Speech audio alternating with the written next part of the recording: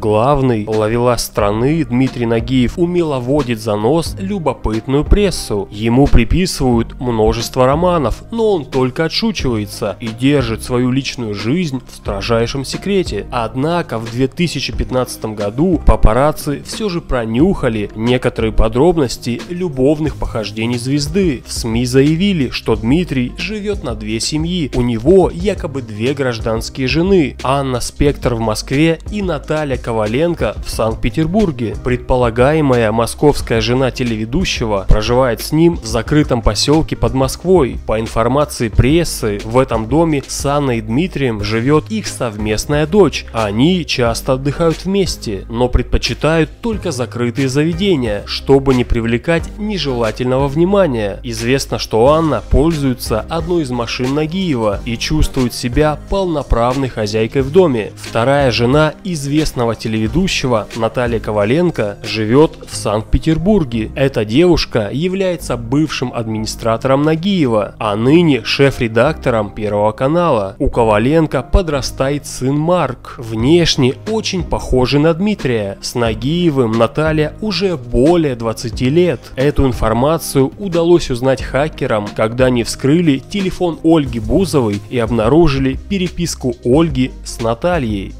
Новость о том, что известный режиссер Тигран Киасаян живет на две семьи, ошарашила многих. Он всегда считался примерным семенином и в интрижках замечен не был. Более 20 лет он состоял в браке с актрисой Аленой Хмельницкой. Алена родила ему двух дочерей, но буквально через год после рождения второй дочери поползли слухи о романе Тиграна с главным редактором телеканала Russia Today Маргаритой Симонян. Влюблен влюбленным ловко удавалось скрывать отношения от посторонних глаз. Только после того, как Маргарита Симонян родила Тиграну двух детей, он официально расторг брак с Аленой Хмельницкой и женился на Маргарите заслуженный артист России и четвертый губернатор Алтайского края Михаил Евдокимов долгое время скрывал свою вторую семью. Всю правду официальная жена Галина узнала только после смерти Михаила, когда его тайная возлюбленная Надежда Жаркова неожиданно заявила о праве на наследство для своей дочери Анастасии. Оказалось, что Анастасия является внебрачным ребенком Евдокимова. В результате дележки имущества детства она получила дом на Рублевке. Надежду Жаркову Михаил знал с детства, но их тайный роман вспыхнул, когда артист приехал с концертом в Бийск, а Надя подошла взять автограф. Их отношения продлились около 17 лет, вплоть до гибели Евдокимова. Позднее оказалось, что у артиста была еще и третья, неофициальная жена, мулатка модель Инна Белова. Она родила Михаилу сына Данила, но участвовать в дележке имущества общество отказалось. Сейчас Надежда и Инна устроили свою личную жизнь, а вдова Галина замуж больше не вышла.